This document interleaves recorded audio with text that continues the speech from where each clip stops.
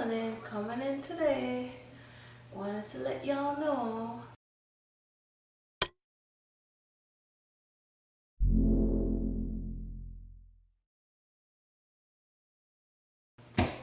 Happy New Year! Hope you guys had a safe Christmas. Looking forward to all of the best things that are gonna happen for the new year.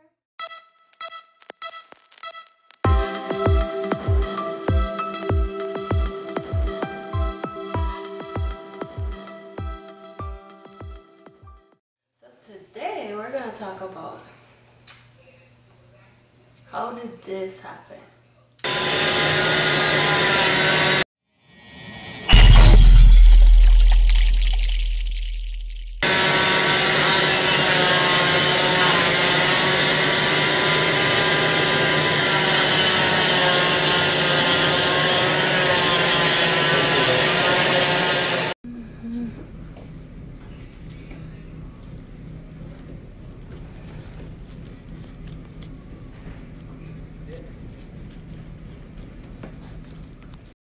It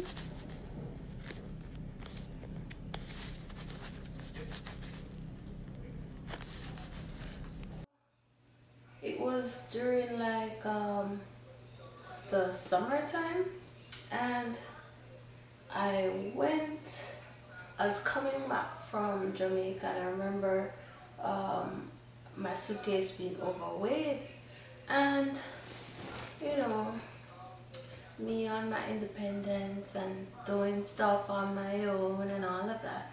I said okay all I'm doing is just lifting the check bag from the carousel. So I, I did just that. And when I lift my, my luggage up from the carousel I heard pop. And I felt some tingling and stuff but no way when I pay it no mind you know? So I dare you know call a cab so I called the cab you know I went up like three flights of stairs I again with the suitcases with the suitcase. And I didn't ask for help, which I should have. And um, so next thing I know, you know, I did that. And like the same night, I know my noticed my hand felt weird. I was feeling some pain, but I said, true, I'm not pay that no mind I don't.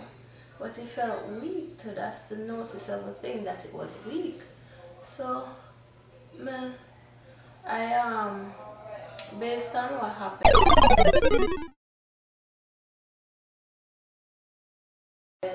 I just went ahead and rubbed it up with my home remedy stuff, my Voltaren, you know, I sit down, put on my splint that I have from my carpal tunnel and things everything alright.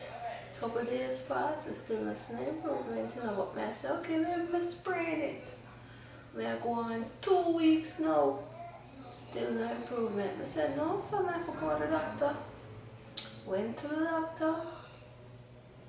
Doctor said, you know, I don't like how you're not able to lift stuff and your hands are your hand is weak in comparison to the other one. Let's send it to do some x-rays. But also I'm gonna go ahead and put you in a splint. I was like, oh my gosh, a splint?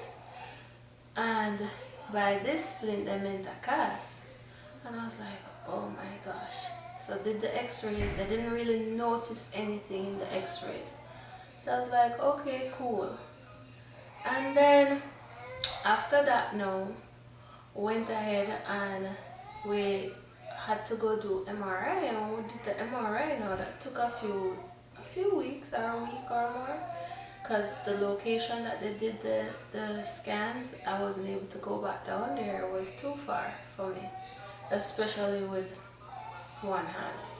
So I said, you know what? Okay, you did the MRI. When we did the MRI, they said, oh no, the ligament in your hand broke off. So they call it the scaphoid ligament tear.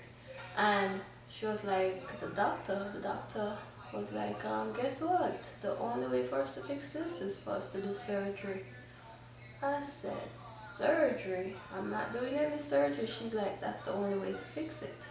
And when we fix it, we're gonna clip the nerve ending so that it delays like the osteoporosis and the arthritis and the pain and all of that. And you know the recovery is like six to eight weeks. And I'm like I thinking I said I have birthday plan, trip plan, I have all sorts of things, what kind of surgery should I talk about? And by the time they gave me the information I was like sad lady was like um, so who's gonna pick you up for surgery because you can't drive and all of that? So she's like um, you know can I have a name? And then she proceeds to say why do you look so sad? In my mind I'm like lady wanna just tell me some after the surgery? I don't see anything enjoyable about that.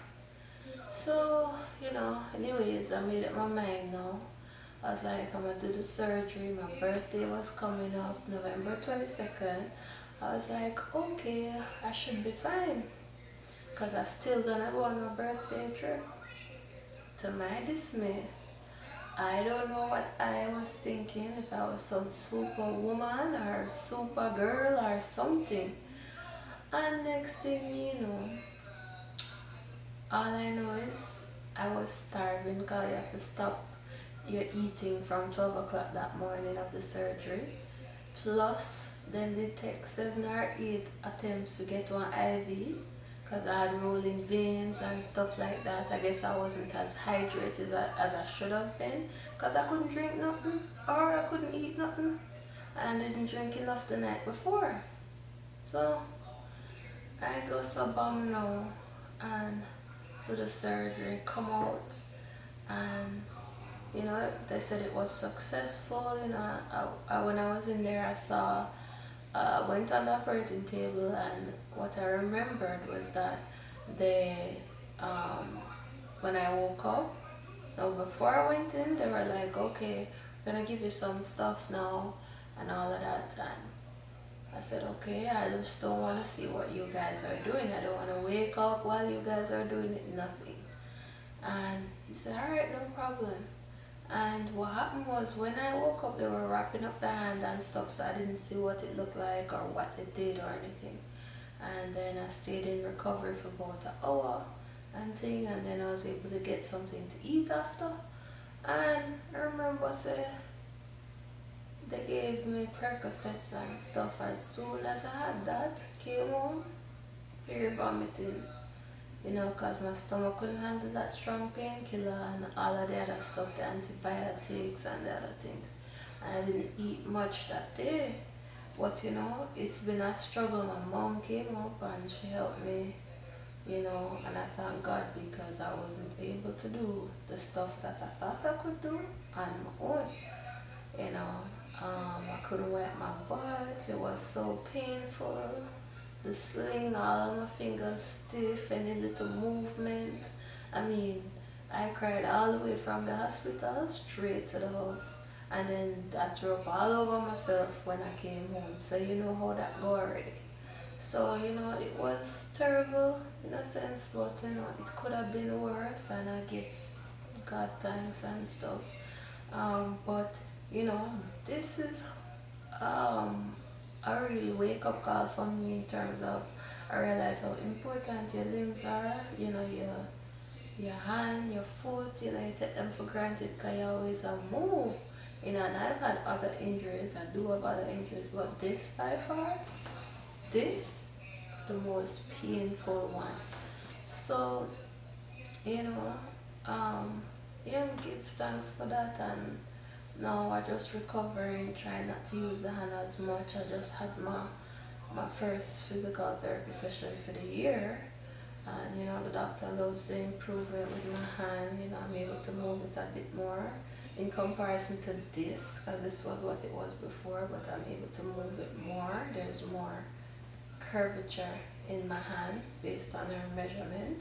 So I have the exercises that I have to do at home while, you know, when I, while I'm away from her and then when I go to her, you know, she has different exercises she has me try.